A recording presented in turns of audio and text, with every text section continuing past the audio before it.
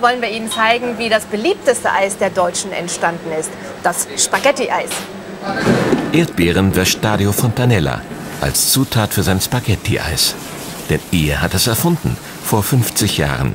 Er hatte in Italien gesehen, wie man Esskastanien durch eine Spätzlepresse drückte für eine Süßspeise und dachte sich, das geht auch mit Eis. Da habe ich natürlich mir eine Kartoffelpresse bzw. eine Spätzlepresse gekauft und habe erstmal äh, probiert. Dann sagte mein Vater, probier das mal mit Vanilleeis, weil das hat dieselbe Farbe vom Teig, von der Nudel.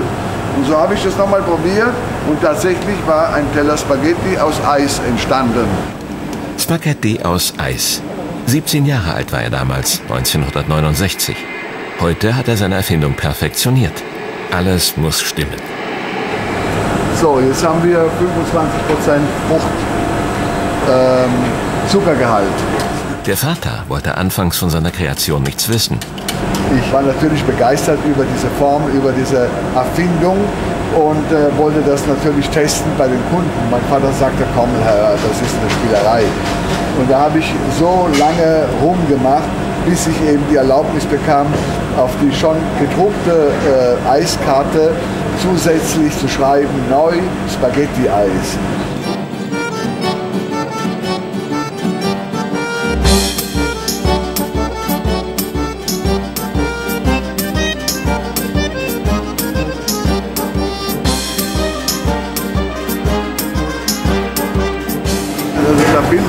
Luft zwischen den verschiedenen Schnürchen.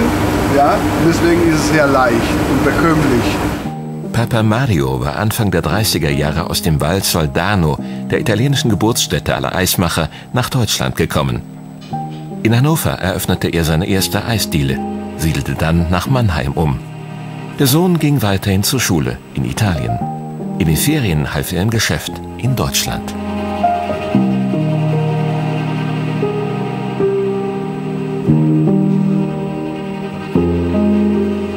Als ich dann kurz vor dem Abschluss von der Schule, habe ich eben die Schule geschmissen. Natürlich, mein Vater war nicht äh, glücklich über diese Entscheidung von mir, aber ich hatte mich auf jeden Fall hatte ich wusste ich, was ich will und dann habe ich zu meinem Vater gesagt, du wirst mal sehen, eines Tages wirst du stolz auf mich sein.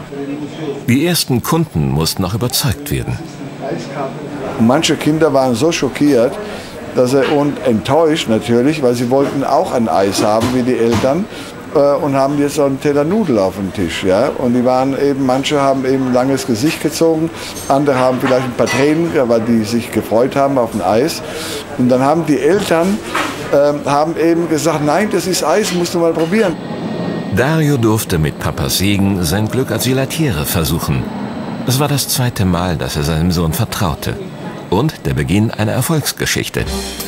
In keiner deutschen Eisdiele fehlt heutzutage das Spaghetti-Eis. In 180 Supermärkten wird es verkauft. Sterneköche servieren es. Auch wenn das Spaghetti-Eis jeder kennt. Sein Erfinder ist nur wenigen bekannt. Denn sein Anwalt machte Dario Fontanella damals keine Hoffnung auf ein Patent. Da habe ich ihm gesagt, Herr Dr. Staff, so hieß er, ich möchte, dass diese Spezialität mir gehört. Können Sie da was machen? Und dann sagt er mir, hättest du die äh, Spätzlepresse oder die Kartoffelpresse erfunden, dann könnte man was machen, aber so hat das keinen Sinn. Jeder kann das nennen, äh, diese Eisspezialität, wie er möchte. Inzwischen werden 25 Millionen Portionen Spaghetti-Eis jedes Jahr in Deutschland verkauft. Auch ohne Patent. Dario Fontanella hat seinen Weg gemacht.